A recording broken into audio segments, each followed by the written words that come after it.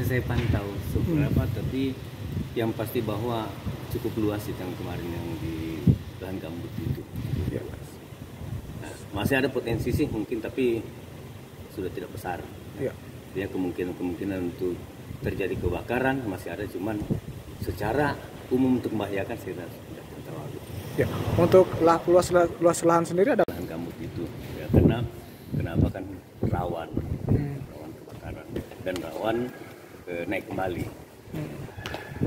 ya untuk sekarang konsen dari kami sekarang ada kebakaran lahan dan pemukiman. Hmm.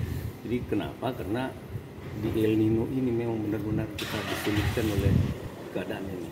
hmm. Jadi kami tetap siaga satu kali 24 jam Hmm. untuk mengantisipasi itu.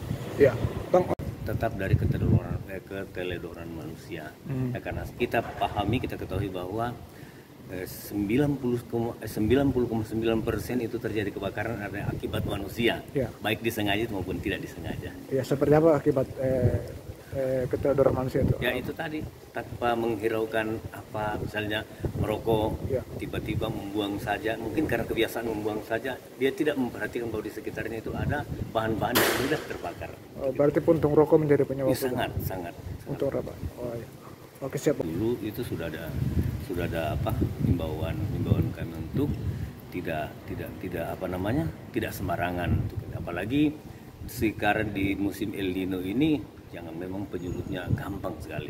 Olehnya itu pemerintah kota menyampaikan bahwa untuk menjaga jangan sampai terjadi hal-hal yang kita tidak inginkan terkait masalah kebakaran maka pemerintah menghimbau kepada seluruh masyarakat untuk menjaga. Jangan membakar sampah, jangan sembarang membuat puntung rokok dan pastikan ketika meninggal meninggalkan rumah itu kompor dalam keadaan mati, terus eh, apa namanya listrik dalam keadaan eh, off semua. off semua Oke. bang untuk potensi ter Download Tribun X sekarang. Menghadirkan lokal menjadi Indonesia. Terima kasih sudah nonton.